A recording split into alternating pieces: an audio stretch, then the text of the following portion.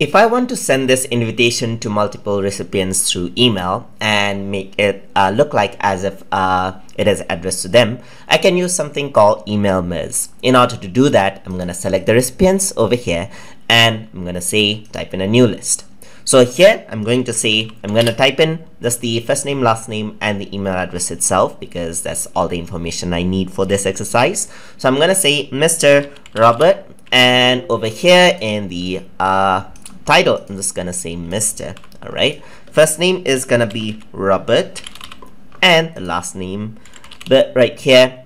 And I don't want to include anything else, just include the email address at test.com, just like this. I'm gonna go over here, add in a new entry. I'm gonna say Miss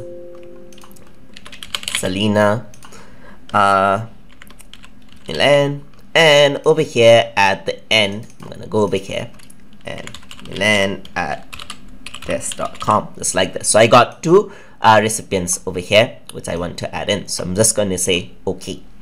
And I'm going to say this is test 2 for data press OK right there. So you can see that I got my two data right here. So you can add in as many as you want. And what I want to do is perform an email merge. So I'm going to go into email merge right here, press email merge uh, right there.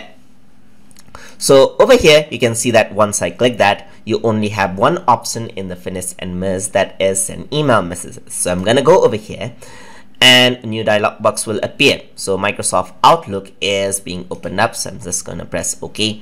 And you can see that too, uh, you can go for uh, subject and so forth. So you can go for to the email address. So I'm going to say email address. So it is going to choose from the email address list uh, from the uh, data that we entered.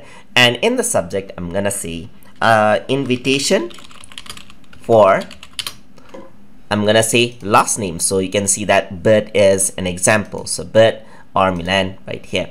Or I can also add in the title Mr. Bert Miss Milan right there. So you can see it uh, right there.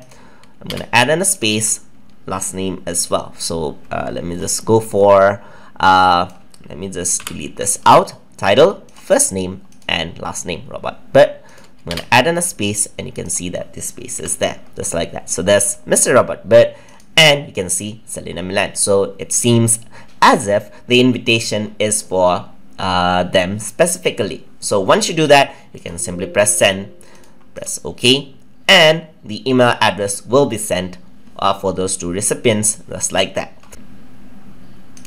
So uh, both of the email will be sent just like that. So that is how you can use the uh, mail merge, uh, email merge inside of Microsoft Publisher. Hope you guys learned something as always. And as always, please like, comment, share, and subscribe.